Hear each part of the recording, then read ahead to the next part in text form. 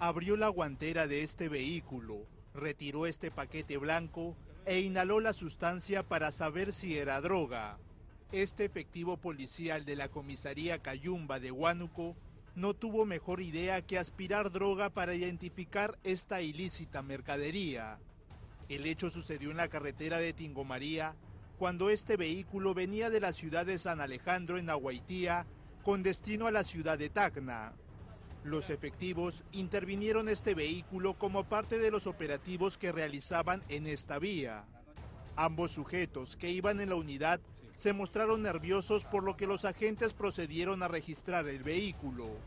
Uno de los efectivos abrió la puerta del copiloto, luego la guantera, donde encontró dos paquetes amorfos que al parecer contenían alcaloide de cocaína. Con una cuchilla realiza un pequeño corte al paquete, aspira la sustancia y frente a las cámaras asienta la cabeza asegurando que se trataba de droga. Al parecer, alcaloide de cocaína.